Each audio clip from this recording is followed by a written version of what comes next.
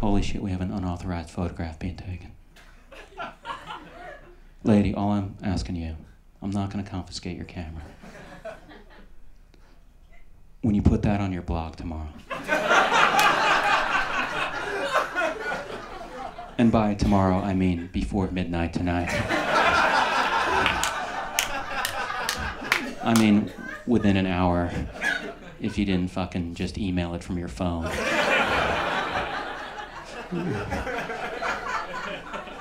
All I can ask, put a link to my website. wow. What a blogger friendly photography policy I have. I'm like the Grateful Dead, people. I'm like the fucking Grateful Dead. I have a blogger section for the bloggers.